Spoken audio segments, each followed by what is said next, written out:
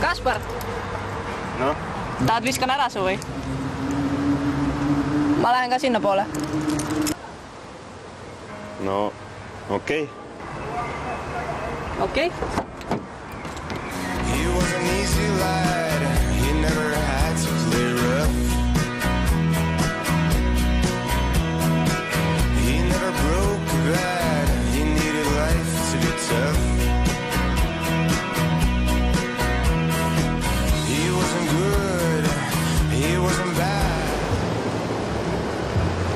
Kas sa oled seda kunagi rannas teinud? mida?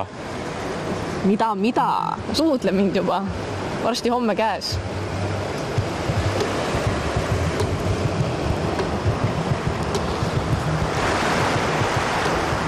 Kaspar, jumalast normaalne poiss ju. ära nüüd pabla, see ei olnud midagi tõsist. ühe õhtu värk noh. ühe lõbusa õhtu värk.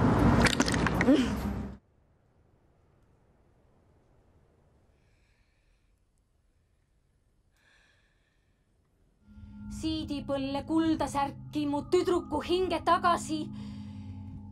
võta kuulda suuri vaimu, teiseks kuulda teista vaimu. meite pere sai pureda salaja sa-.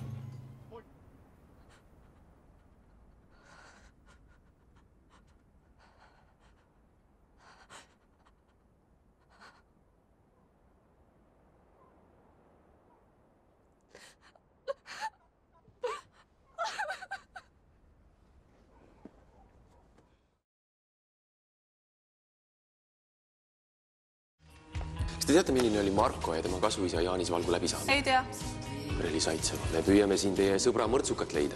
ta oli lihtsalt üks rumal voodiseiklus, mida ma kahetsen. kuula mind, Tibu. üks sinu tuttav, ma rõhutan, mitte sõber, vaid tuttav on mõrvatud. ma ei tea, kas sul on ema, kes sinust hoolib, aga Markol oli. tee kordki oma snoobielus midagi kasulikku, aita meil see mõrtsukas kinni püüda. kas see mahub siia sisse?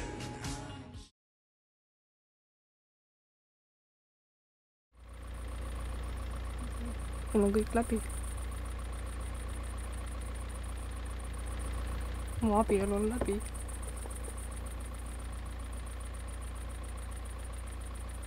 ma ei jätnud oma last maha. Другая женщина?